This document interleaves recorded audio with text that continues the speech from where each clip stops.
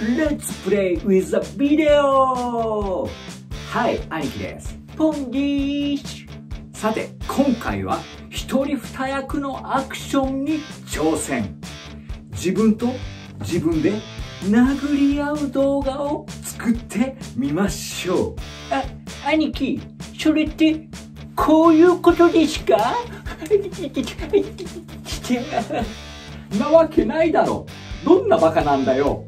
編集技術を使って一人二役のアクションを作るんだよ。では、まずこちらをご覧ください。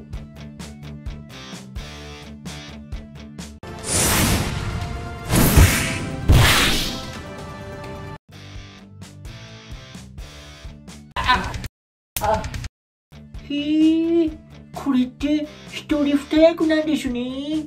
そうなんだよ。これを今から作るんだよ。それでは今回、Adobe のプレミアプロという編集ソフトを使って、一人二役のアクションに挑戦してみましょう !Let's play with a video!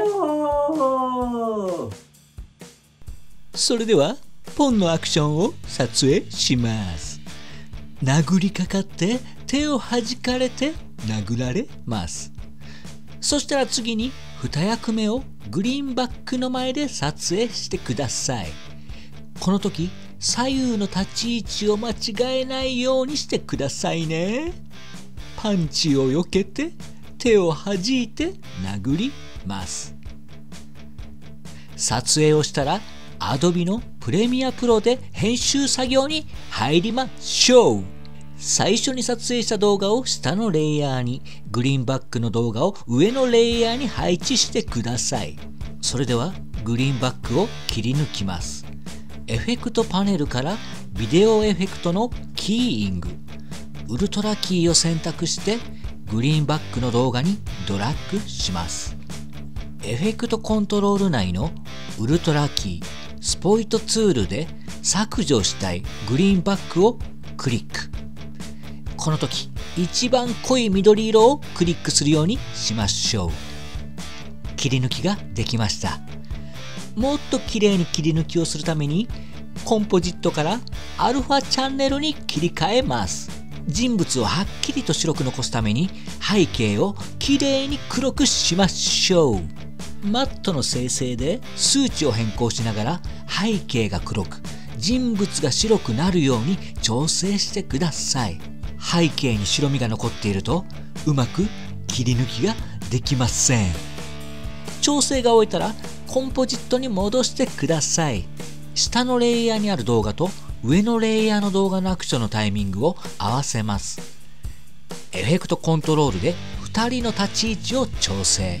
タイミングがずれてしまう箇所はカットしてつなげましょう。殴りかかって避けて手を弾いて手が弾かれて殴って吹っ飛びます。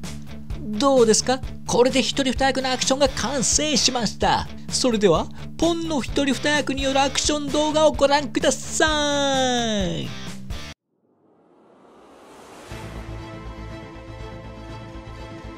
おお俺を誰だと思ってるんだ？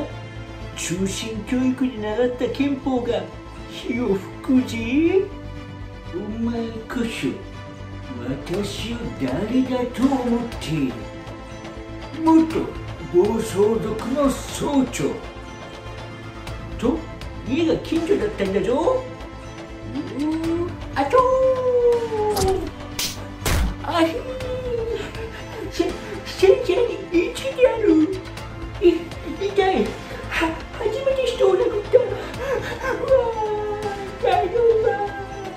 いかがだったでしょうか？